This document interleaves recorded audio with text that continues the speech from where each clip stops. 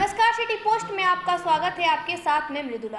बिहार में बढ़ते कोरोना मामले के बीच लगता है प्रशासन की अब कोई नहीं सुन रहा। इसलिए प्रशासन अब गांधीगिरी शुरू कर दी है। जी हाँ, आपको बता दें कि बेगूसराय के जिला प्रशासन के द्वारा कोरोना गाइडलाइन का पालन करवाने के लिए गांधीगिरी की जा रही है।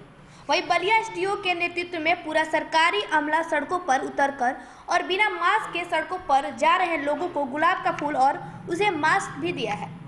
इस दौरान पुलिस के द्वारा कई लोगों को बिना मास्क पहने पर मैं गद्दा हूँ भी कहलवाया है।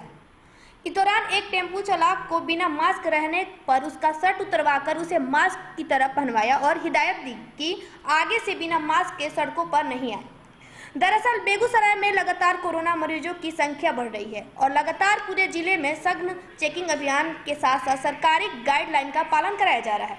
इसी के तहत बलिया अनुमंडल प्रशासन ने बलिया बाज़ार लखमीनिया स्टेशन पर सघन जाँच अभियान चलाया है और लोगों को गुलाब का फूल और मास्क बांटकर जागरूक किया है। वहीं एसडीओ ने कहा कि लगातार मरीज़ बढ़ने के बाद लोगों को जागरूक करने के लिए गुलाब का फूल और मास्क दिया जा रहा है।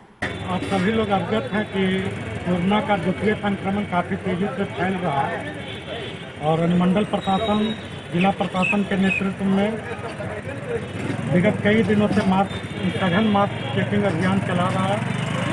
आज हम लोग गुलाब का फूल और मास्क के साथ निकले हैं ताकि मास्क के प्रति लोगों को जागरूक कर जागरूक कर सके। वैसे सभी व्यक्ति जो बिना मास्क के दिखाई दे रहे हैं, उनको हम लोग मास्क और एक गुलाब का फूल उपलब्ध करा रहे हैं ताकि एक सकारात्मक पहल के रूप में इसको देखा जाए और लोग भी इसको सकारात्मक पहल के रूप में लें और मास्क का अधिक से अधिक प्रयोग करें। मास्क नहीं था, उन्हें गुलाब के फूल के माध्यम से फूल देकर उन्हें गधा बनाया गया। और कहा कि आप गधे हैं? 300 फूल लगभग बांटा गया है और 300 माप।